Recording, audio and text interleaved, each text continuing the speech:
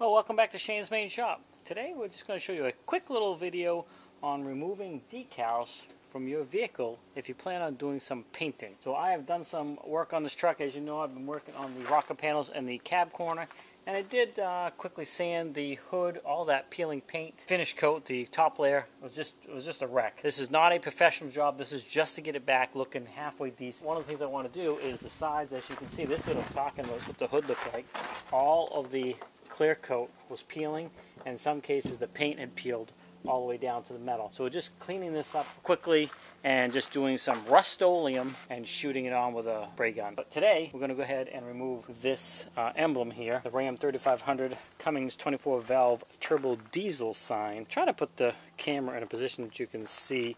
But basically you're just going to start on one side and just work your blade under here gently and just keep slowly going around and cutting into it underneath.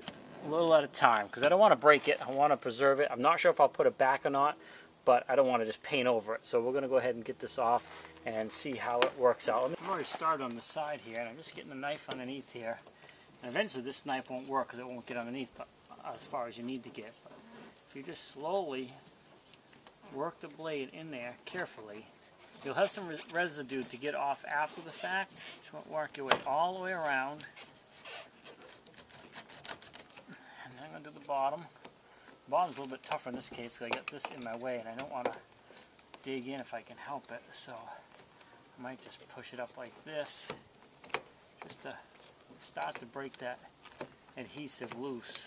And if you can gently pull, you don't want to pull hard or fast because you'll just snap it. But if you pull it slowly, you can feel it start to release you can even hear it. You can hear it releasing and then that might even get you some more room to get the blade down in there a little bit further and gently, I see I'm barely pulling now, just enough to give myself some space and cut some more of that adhesive away. There's a weak point here, actually it might even be two different pieces, not sure. So we're just gonna, yeah I think it is two different pieces actually, it is. So go ahead and remove the top here. That I did not know. Yeah, because I can pull up on it. and the,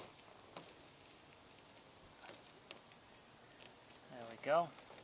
So all preserved just needs to be completely cleaned up, of course, to go back on if we're going to do that. Set that aside and then go ahead and get the diesel, 24 valve Cummins diesel sign off. Be careful not to slip and cut your hand if you get your hand underneath here. Probably shouldn't do that. I'm just going to work. We were able to get the bottom before. Now we're able to get to the top of this. Just work your way around. Don't rush it because you'll end up breaking something. Take your time. Go back over it. Make sure there's no spots you missed here where these little bumps are. And then I'll try the same thing. I'll just gently pull. Now this one's being a little bit more stubborn.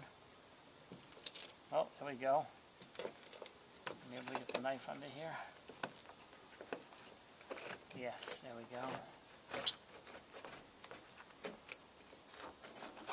Alright, so now we have both those off and out of the way. I'll put those aside, we'll clean them all up. So if I want to put them back, but then you got to deal with this adhesive. So you should be able to use your blade to get a lot of this off, hopefully and try not to cut into your paint. You don't want to go to a steep angle because you don't want to gouge in. You're trying to basically just go over the surface here. I'll have to use some uh, acetone or something after to get the rest of it. But see right there I cut into my clear coat a little bit. Because if you're going to put it back on, if you do that it's not going to be as important once you paint it.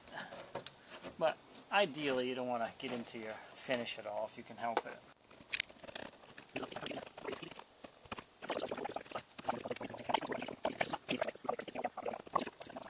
I'm just going to go ahead and keep working on this, as you can see, and then we'll turn the camera back on in a bit once we uh, have it cleaned up. So I did get as much as I possibly could scraped off, and now I'm going to employ the usefulness of a orbital sander just to get the rest of it off. And I got a pretty coarse one on here. I think it's probably like 80 grit or something. Yeah, 80 grit. I don't want to go too much because I don't want to get it into all of this, but I do want to get this this off. This, this is not off, it's going to show up really bad. We're going to go ahead and just do some sanding on this.